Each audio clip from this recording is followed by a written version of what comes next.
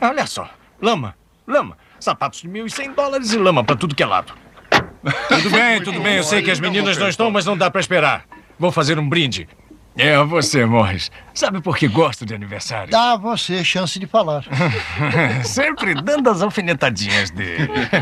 Não, vamos percorrer a mesa. Por que o aniversário do vovô é tão especial? Mete-se primeiro. Ah, bom, porque... Sabe por quê? Porque reúne toda a nossa família. E a família é o que conta. Escuta só ele.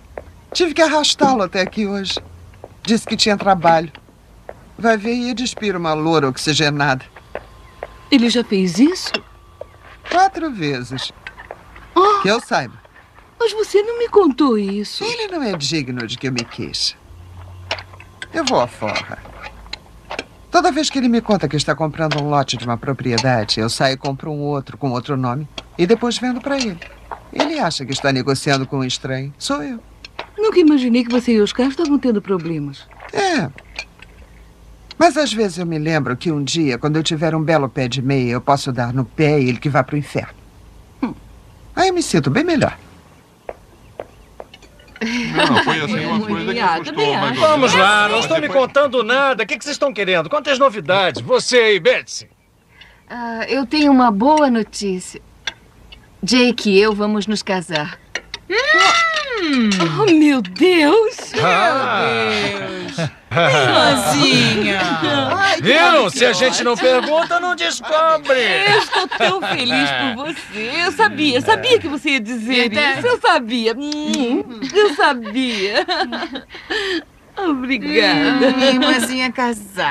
Ah, obrigada, querido. Obrigada. Eu não acredito, eu não arranjo um cara nem pra jogar carta comigo.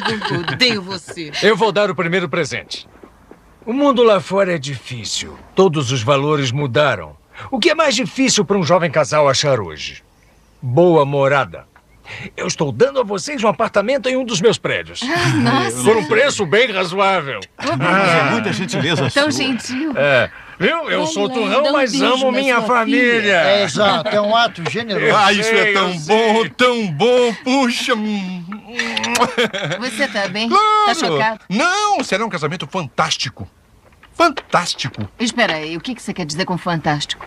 Fantástico, maravilhoso? Sei, mas nada grande nem caro. Claro que não. Quando eu digo fantástico e maravilhoso, eu quero dizer barato e feio. Imagine, você é a nossa primeira filha que se Eu casa. sei, eu sei, mas é que Jake e eu estávamos pensando numa coisa bem pequena. Talvez uns poucos amigos e a família na sala de estar.